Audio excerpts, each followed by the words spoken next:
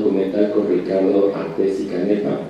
Cursó, un taller con el documentalista Juan Pérez Rufo, tiene un diplomado en producción en el Centro de Estudios Cinematográficos y participó como oyente testigo en el taller profesional de postproducción de documental Doculab 7, dirigido por Nicolás Azabarría en el marco del 30 Festival Internacional de Cine de Guadalajara. Ha participado también como ponente en congresos de historia nacionales y regionales, desarrollando las temáticas de memoria histórica e imagen audiovisual, así como la importancia del rescate de las tradiciones a través de los medios audiovisuales. En el ámbito audiovisual ha sido investigador, fotógrafo, director y guionista de varias producciones, entre las que destacan 50 del 2009, Orquesta Típica, Memoria y Música Popular del 2012, Ayer y del Hoy, también igual 2012, Yandavi, Escuela de Música del 2014, que se presentó el día de ayer como parte de esta muestra, Trocker y el Automóvil Gris del 2014, Paraje Insurgente, Fábrica de, perdón, Paraje Insurgente, además Fábrica de Temajac, Memoria y Oralidad de 2014, Temaca, la Revolución del Agua de 2015 y actualmente trabaja en el proceso de producción sobre la tradición equipalera del pueblo de Zacualco de Torres, Jalisco y su relación con la zona de la ciudad de Guadalajara llamada Las Nueve Esquinas, esto en este año 2016. Recibamos entonces con un fuerte aplauso a Fernando López Martínez.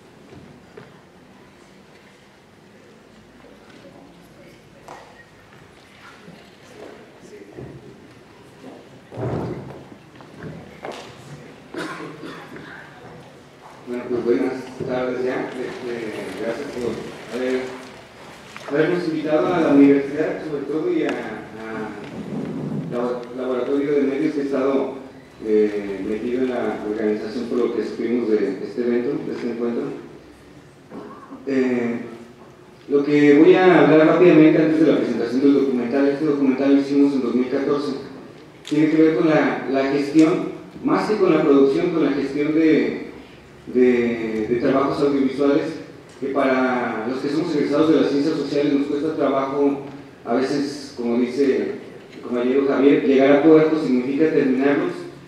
Eh, los realizamos a veces con equipo deficiente o con lo que tenemos, a veces conseguimos buen equipo, pero nos faltan herramientas narrativas, pero principalmente de gestión para estos productos, poderlos este, llevar a, a postproducciones que puedan incluirse no solamente en muestras académicas, sino también concursar en los, en los circuitos de festivales.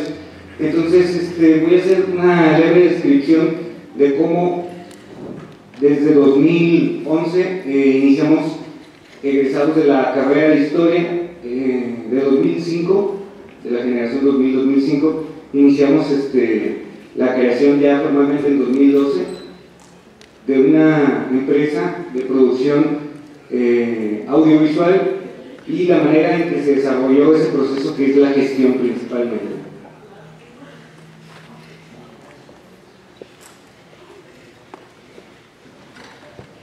Bueno, como, como antecedentes, este, al haber estudiado la carrera de historia, llevamos en más o menos 2000 a 2005 la materia de historia oral. Esta materia de historia oral tenía una característica que era la la, el acercamiento a temas sociales a través de la creación de fuentes orales, fuentes históricas a través del testimonio. Sin embargo, ya para 2002 se nos ocurre integrar el video a estas entrevistas. Los historiadores haciendo entrevistas investigaciones sociales basadas en la fuente principal que es el testimonio, pero grabadas en video.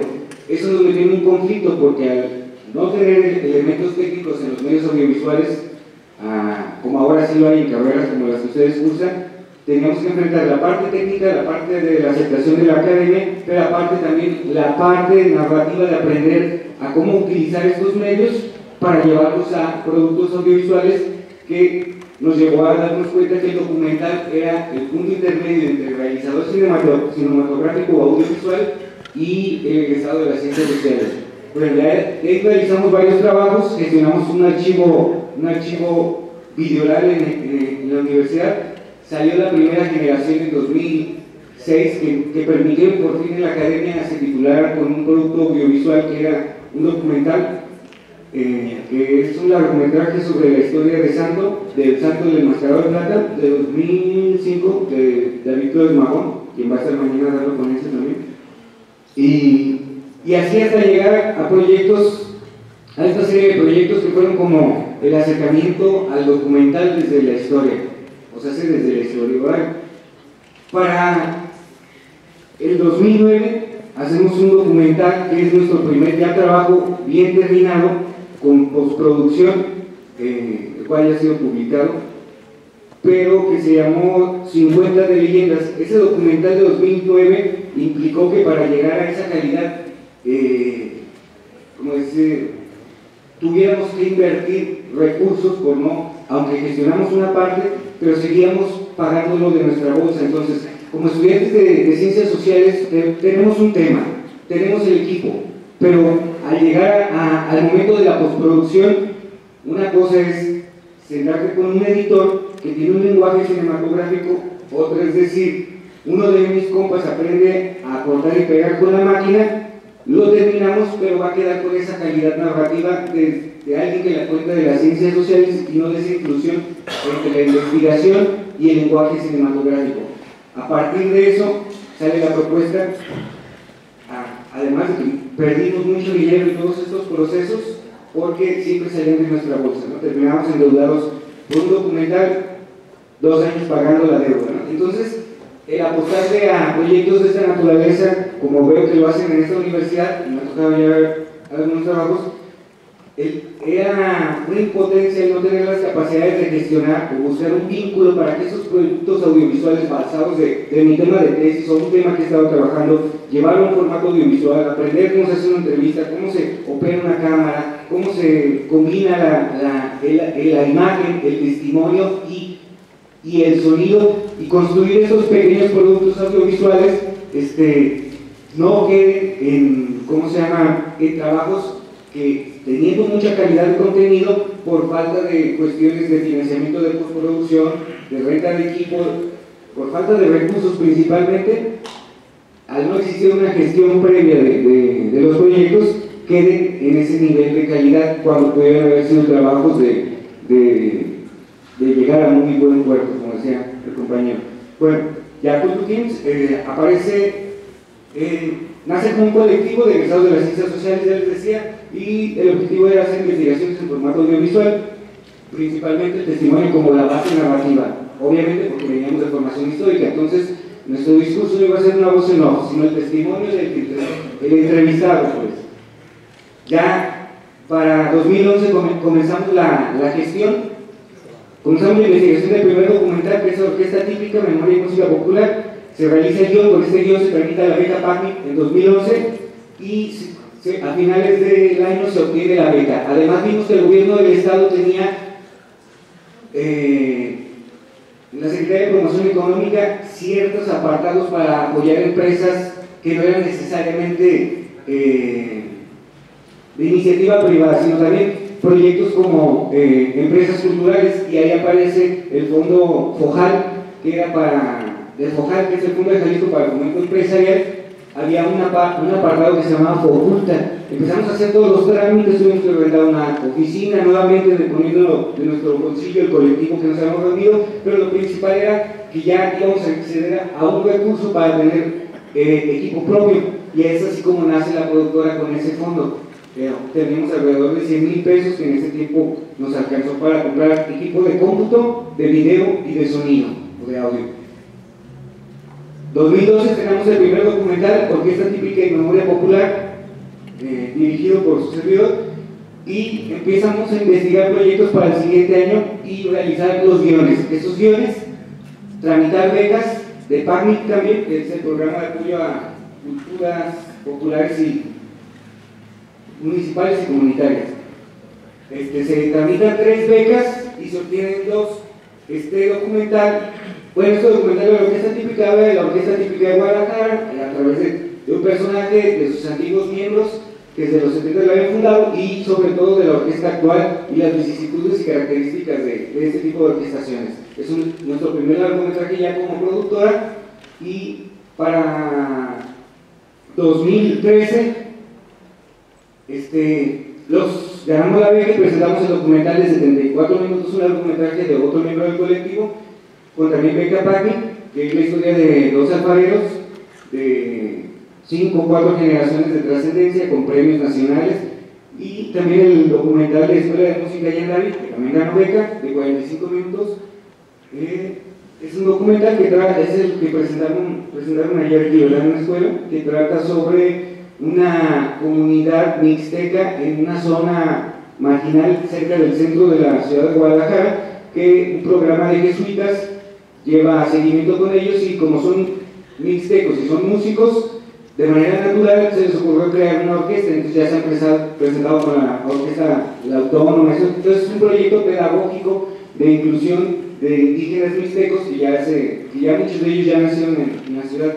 Bueno, se gestionan nuevamente otras becas y hacemos por primera vez la postproducción. Se acerca alguien que había realizado un, trabajo de, filmación y entonces decimos, ah, bueno, ya vimos cómo se puede hacer te pongo este editor que nosotros contratamos para que gestionar una beca para que tu documental que era sobre Troque, una agrupación de Guadalajara, que musicaliza una película de, del cine mudo, que es la banda del automóvil gris de 1919. Este, él graba los ensayos y todo el proceso creativo, llega con el material y entonces le decimos, bueno, que traemos un editor egresado de cine para que diga si el material sirve, vamos tramitando la beca y con esa beca se postproduce gana la beca, se postproduce, se presenta en la Cineteca Nacional. Bueno, ese ha viajado ya, es el primer documental en coproducción que ya se comienza a mover. estuvo como cine de muestra en el Festival de Santiago de los Baños en La Habana, en varios festivales en Sudamérica, aquí en México, fue a Bélgica creo. Bueno, estuvo en circuito de, cortometrajes ya de documental. Este, estas son las imágenes del documental de los artesanos y estas son de, del documental de la orquesta de Mixtecos. Ya para 2014 tramitamos, ganamos la beca para hacer el documental de Paraje Insurgente, que es el que vamos a ver a continuación y que se quedó en esa época en pura, en primer, se llama primer corte, no tiene postproducción ni sonido, es el, la primer, el primer montaje. Ese se realiza con Becapani, trata sobre, bueno, ahorita lo van a ver que trata, fábrica de memoria y oralidad. Ese dura 43 minutos. Y esa la relevancia que tiene. Es la universidad, a través de un proyecto de investigación de un doctor de la Universidad de Guadalajara, se, eh, que se basaba en, en, el rescate del patrimonio industrial de la fábrica, antigua fábrica de, de y tejidos de Temajac. Resulta que él había hecho la investigación, pero no se había acercado a las personas que todavía vivían en la comunidad cerca de la, de, la fábrica, que, por, desde 1841 vivían en esa, por generaciones, y el documental trata sobre el testimonio de estas personas.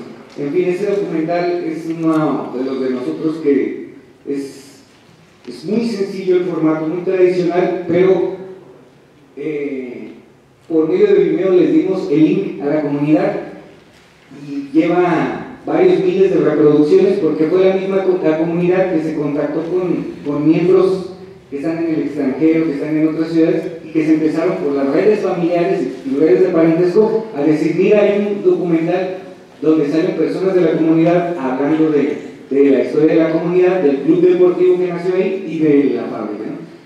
Este, gestionamos becas y para 2000 bueno, estas son imágenes de Paraje Insurgente. Para 2015 eh, realizamos el documental Tema de la Revolución del Agua, que es un largometraje también sobre la comunidad en defensa del territorio, igual que el de Mezcala, que ya son temas que tienen que ver con defensa del territorio, sobre la, comunidad de Temacapulina eh, en contra de la presa del Zapotillo. Este, También el de temporada de Pitayas, que es un cortometraje que ya está terminado eh, con toda la postproducción, a diferencia del de Temaca, que se está buscando una beca para postproducción.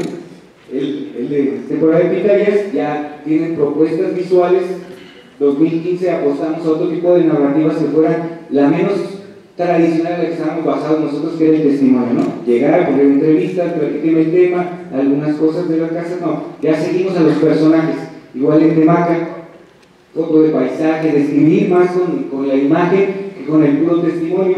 Este, este trabajo de temporada de Pitayas nos, ha dejado muy satisfechos porque el paisaje que describe es muy del sur de Jalisco, muy vulpiano, de, de en Llamas, y ah, es la historia de una familia que, que vende durante una temporada del año pitayas en una zona específica de Guadalajara, pero a través de sus historias de parentesco nos van contando cómo es que este producto, el producto ya se convierte como el, solamente en el vehículo para contar la historia de de estas familias y ese lazo que tiene con esta parte de la ciudad por la venta y producción de, la pitaya. La ventaja de este trabajo es que ahorita se encuentra en, Argentina, en el festival, compitiendo en, hasta en Siberia, creo, en Siberia, en un festival, esos raritos de cortometrajes. Pero bueno, un montón, ahorita, lo que va del año que lo hemos escrito, yo creo que lleva como 10 festivales en los que está en competencia. Ya ahorita en 2000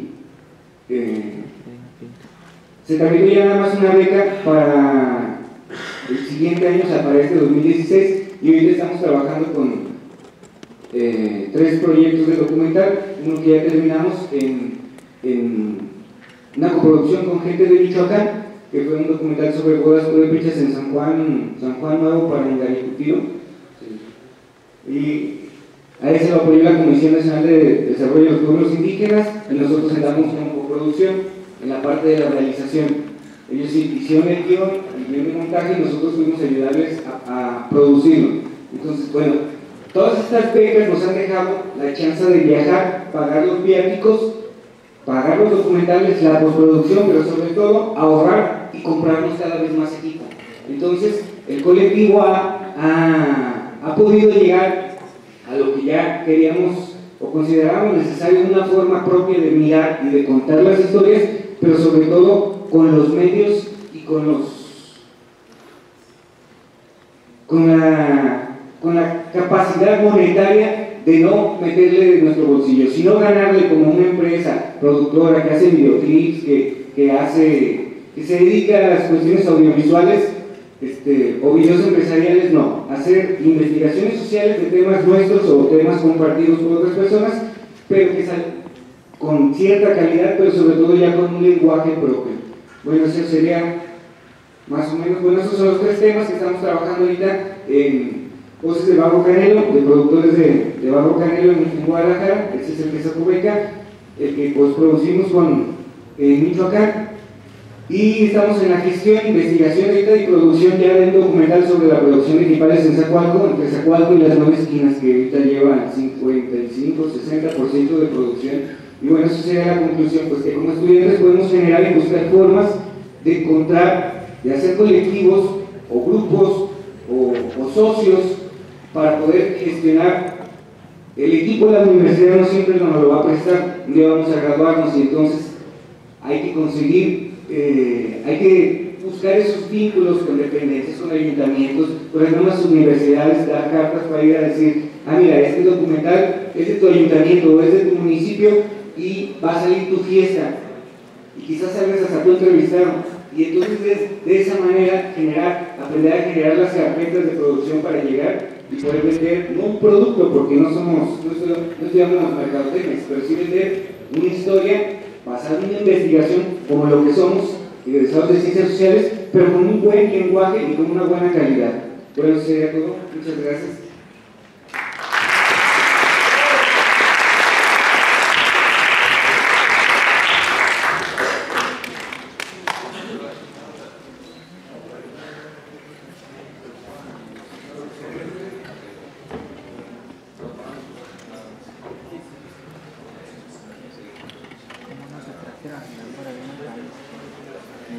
32. Allá tienen las de 32, las de las entrevistas. Vamos a ver eh, una parte del, del, corto y después vamos a, a pasar precisamente todos los documentales.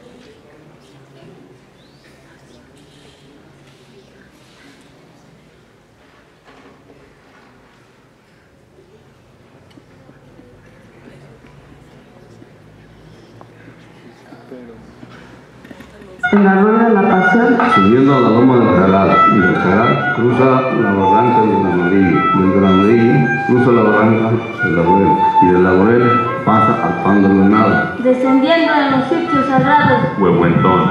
Tascapuyaseo, el viejo y la vieja. El conchi. Y continuando su frecuencia, en el Cerro de las Cruces y el Arroyo del Consuelo. Hacia el Cerro de la Campana mirando a ver las aguas del lago a las faldas de Pechilí.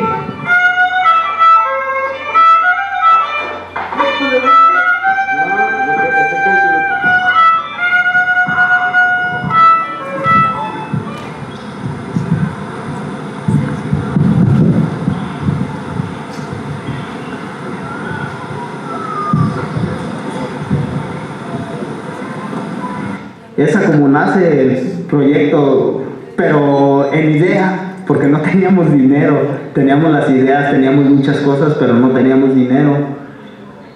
Duró dos años en construcción el paraje y fue con dinero que nos proporcionaron y creo que todavía se debe. O sea, nos lo facilitaron y con personas particulares que nos dijeron, que no nos dijeron, que han estado en la comunidad y que saben el proceso de la comunidad, que era lo que nosotros queríamos y al escuchar esto ellos se, se ofrecieron a apoyar el proyecto con su trabajo, con lo que sabían hacer. Por ejemplo, el arquitecto, él no cobró un solo peso por hacer el diseño de, del restaurante.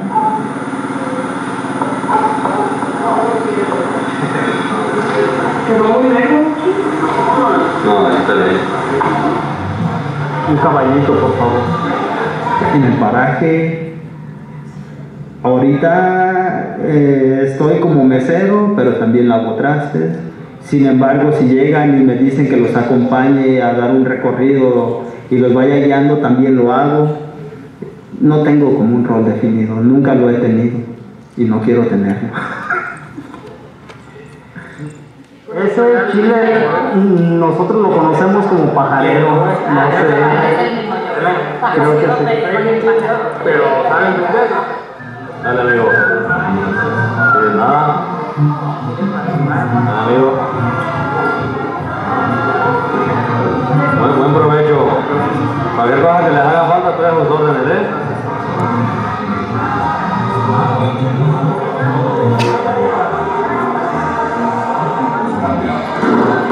¿Está ahí?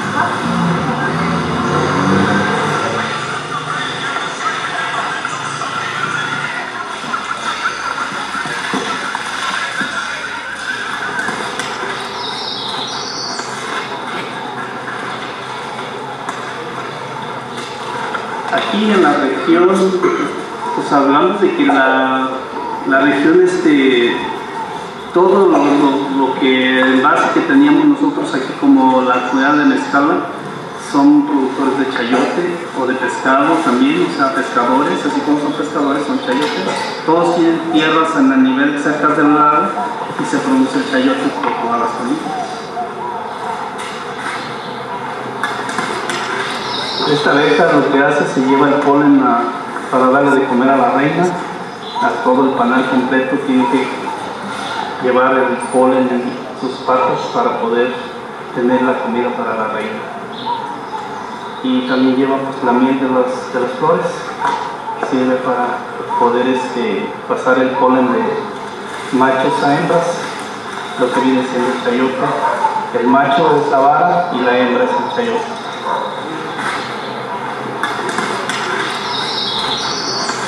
Este, combina ambas actividades, ya sea la pesca, ya sea el cultivo de chayote, ya sea la siembra de maíz. Eh, ahí mismo a veces le sembramos la calabaza que llamamos bifea. De esa manera podemos salir adelante en, aquí en, las tierras de, de nuestra comunidad, con las tierras de nuestros papás. Gracias a Dios que tenemos todavía hoy en día, eh, ellos nos han dejado aquí esas tierras. Los procesos naturales también hacemos es bañar la colonia todo de la manera de bañar la, la mata y las hojas para que la barra y de esa manera caiga el- la plaga. Y si ya no se puede, entonces ellos utilizan a veces herbicidas, fungicidas para atacar esa plaga. La leña rosa es una de las más resistentes, entonces es difícil de combatir, necesita constantemente estar. Aunque nosotros aquí también estamos aplicando el abono, el abono este, natural, el abono este, orgánico, en el chayote tenemos la preparación de los alimentos, viene siendo este, lo común, la gente lo pide como chayotes para el caldo, o puede ser este, chayotes con unas tortitas de, de chayote, o puede ser hasta dulce de chayote. Hay muchas cosas que se puede hacer con el chayote, nada más hay que saber cocinar. La mayoría yo creo que el cálculo no lo tenemos bien, pero se da yo creo que algunos, unos, algunos serán unas mil familias en toda la comunidad de, de lo que se mantiene, ¿no? Sí, de población más o menos más de 5 mil. Algunas, ya no digamos más o menos de 500 a 1000 familias que se mantienen directamente de lo que es el chayote. Entonces, por ejemplo, ahorita que está bajo el, el precio, la gente se le un poquito porque normal que es este, la economía se viene abajo. Más que nada nosotros creo que no podemos dejar de trabajar que es el chayote porque pues, es una base que hemos tenido siempre, ¿verdad? Solo que las plantas dejan de dar o que se infectan mucho, pues hay que trozarlas completo y esperar tres meses para poder otra vez levantar la huerta.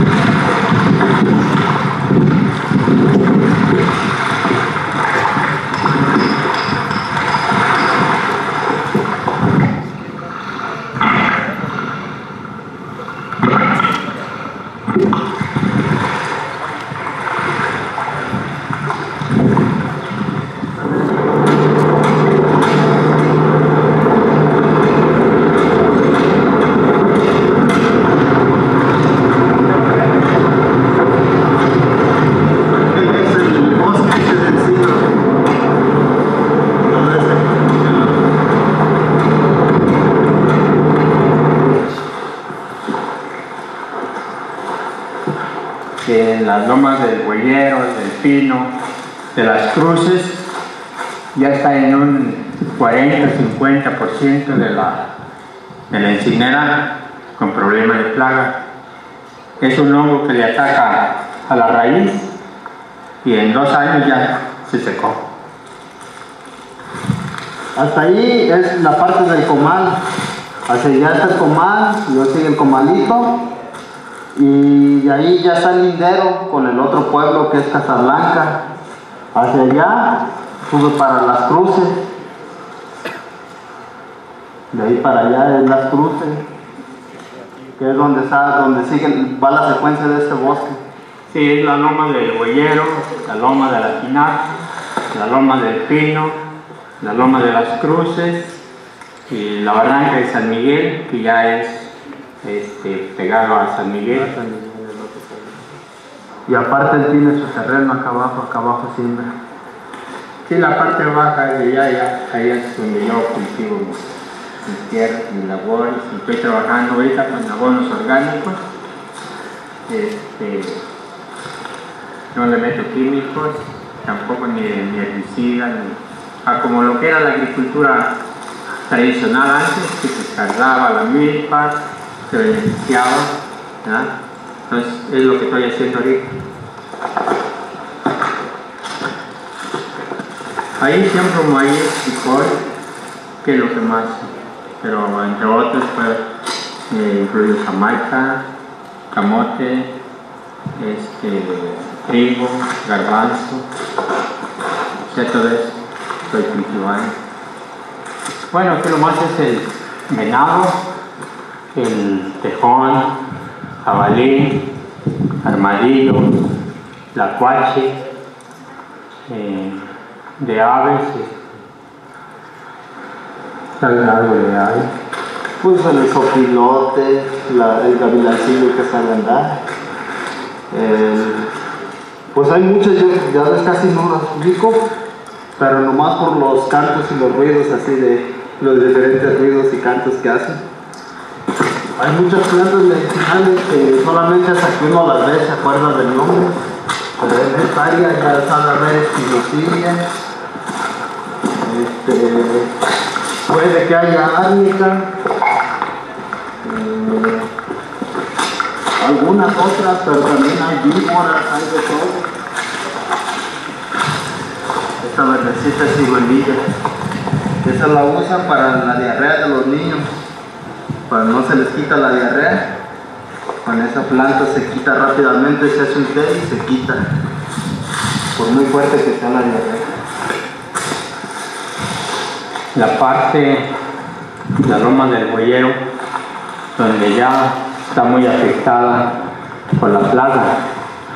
Y todo eso que vemos verde es una nueva generación de, de plantas que van cubriendo el lugar donde se va secando la encimera, por la cual esa nos muestra que es resistente a la sequía y al cambio climático, que resiste.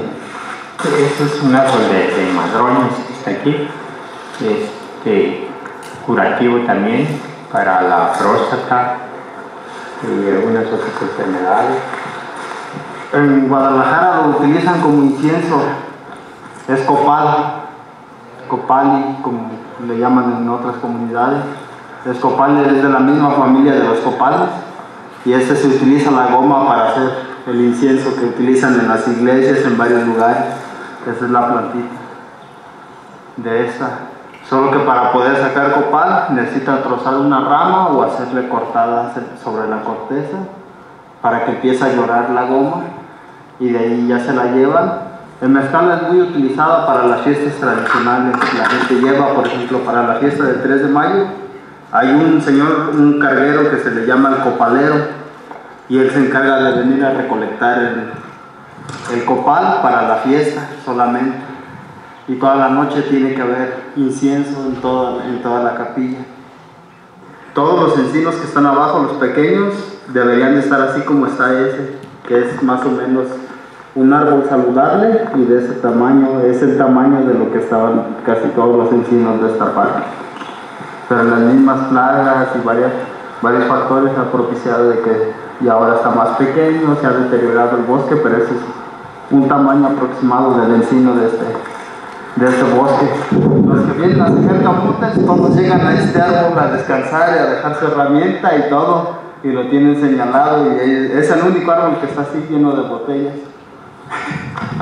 Aquí en esta parte. Hacia allá inician las barrancas, la barranca de la Tinaja, todo, y es donde van a sacar camote y aquí es donde llega todos ellos, aquí es donde se juntan, por eso está así.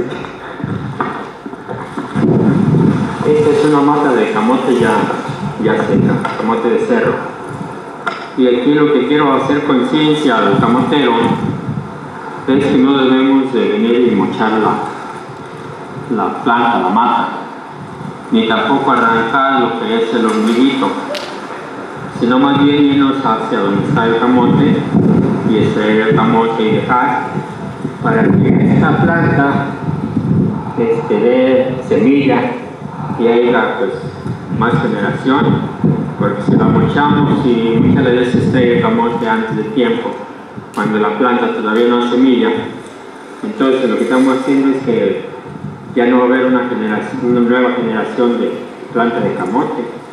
Este es uno de los tipos de nopales que hay. Aquí en el pueblo hay como siete tipos de nopales diferentes.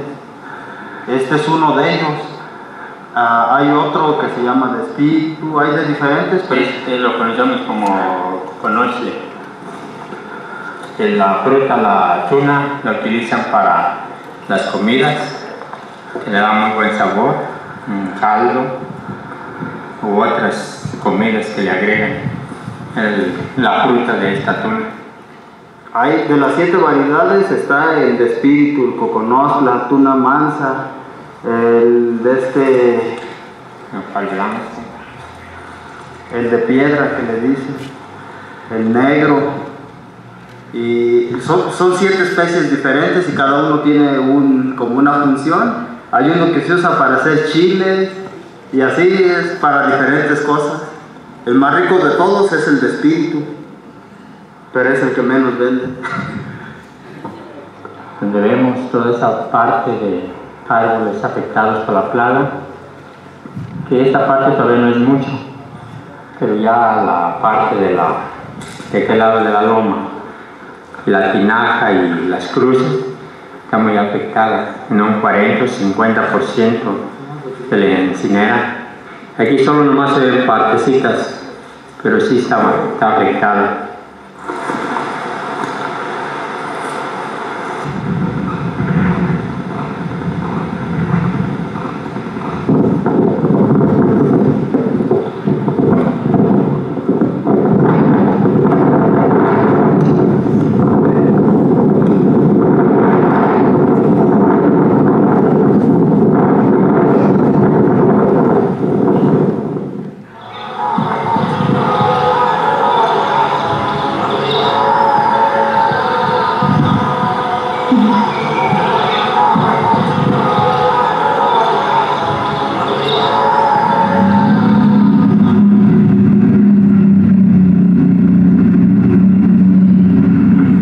La isla este, prácticamente lo que ocurre es una resistencia indígena de más de cuatro años, en- entre 1812 y 1816.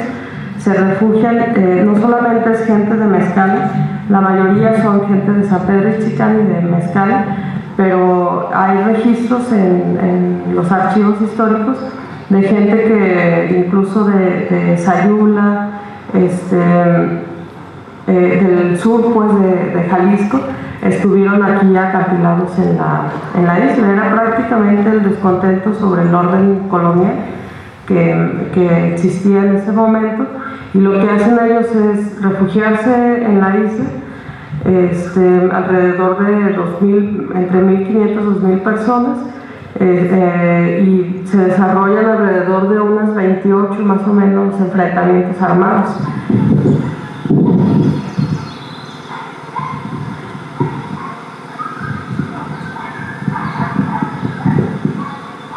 un, un episodio que para nosotros es como, como que, tratamos, por ejemplo, en los talleres de historia, eh, eh, contarlo pues con los niños, explicarlo, es de cómo los españoles empiezan a traer eh, naves, naves este, para, para barcos pues, de, ese tiempo, del puerto de San Blas, porque aquí todavía se creía que era un mar, en Chapala, no, no un lago, sino se le conoce como el mar Chapala.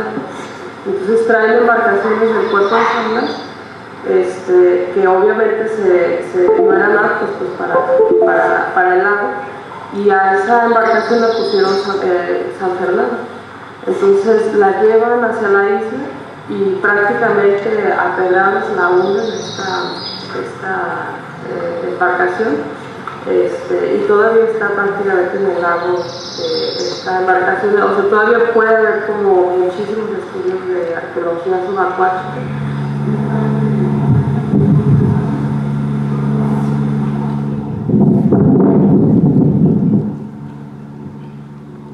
Para nosotros, pues como comunidad, lo, importante es de que de esas 28 enfrentamientos con los españoles prácticamente no tuvieron pérdidas.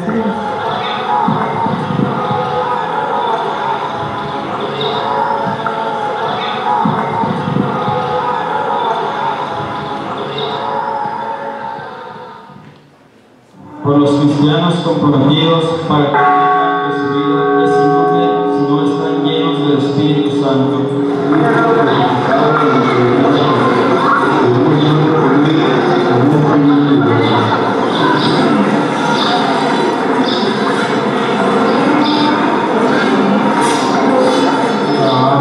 por el gran amor que has manifestado hacia nosotros. Por amarnos, creaste y por amor nos por todos los que no conocen a Cristo, a fin de que también para ellos llegue pronto el día de la luz y de la paz.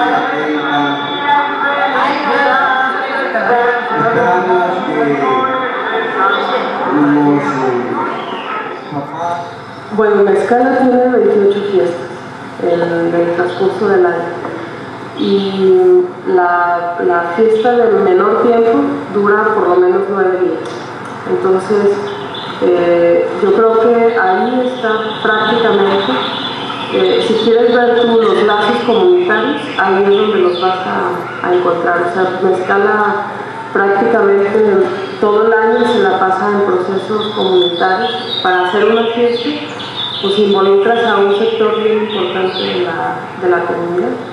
Y además de que no solamente son fiestas religiosas, sino que también fiestas donde este, recuerdas y, este, invitas pues a, los episodios de la comunidad, pues creo que ahí está una, una como un lazo bien fuerte como un anclaje este, de la comunidad con el territorio.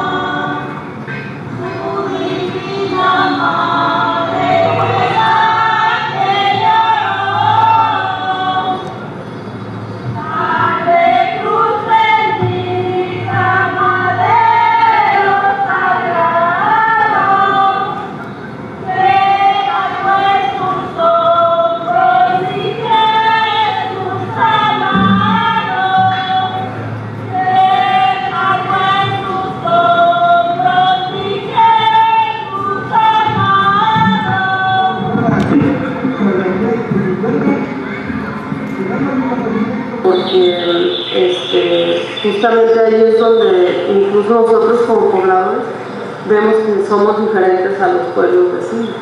¿Por qué en San Juan de Comatlán se hace esto? ¿Por qué en Poncitlán? ¿Por qué en Chapala no se hacen este tipo de, fiestas? Incluso para gente de los alrededores, pues es este, eh, solamente desperdicio de, de dinero, este, pero no ve el pueblo comunitario, o sea, no tienen eh, este, porque si pueden puede gastar 30 mil pesos este, en una fiesta y por qué no gastarlo en un carro, en una ropa o algo, si, si estás, estás este, tirando pues tu dinero para los vecinos. Entonces, yo creo que también las fiestas nos enseñan a ver la, lo diferentes que somos a la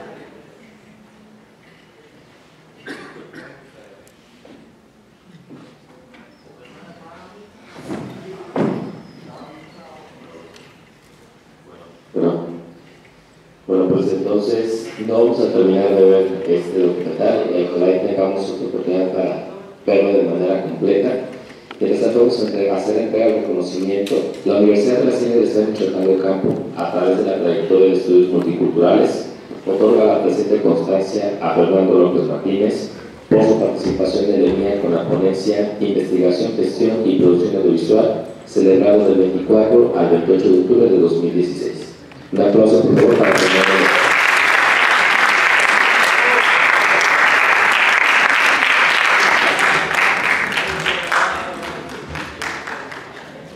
Agradecemos a Fernando López por su participación y damos paso a nuestra última actividad del día con la proyección especial del documental De mano con la muerte, presentada por María Mora. Buenas tardes. Enseguida se presentará el documental De mano con la muerte de Luis Vicente Botello Hernández. En 2013 estudió un semestre de comunicación social y periodismo en la Universidad del Norte en Barranquilla, Colombia. En 2015 cursó un semestre de Ciencias de la Comunicación Social en Periodismo y Comunicación Digital en la Universidad de Cuenca, en Cuenca, Ecuador, donde colaboró en una página digital orientada a la promoción turística de la ciudad y capacitando a los niños de primaria, en un proyecto para la realización de un, de una radio comunitaria en Caspi, Corral, Ecuador.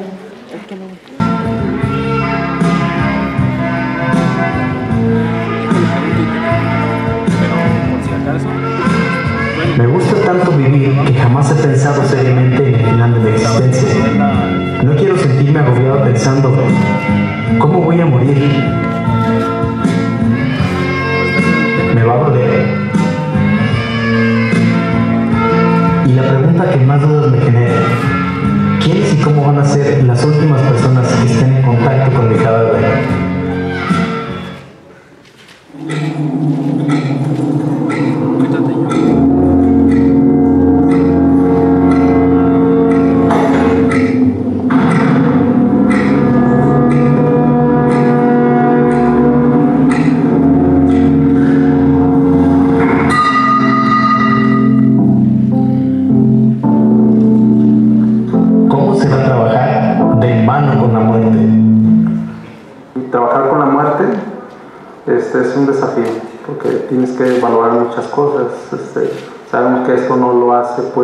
Persona y desde ese punto de vista sabemos pues que pocos tenemos pues la honra pues de decir que trabajamos de esa manera.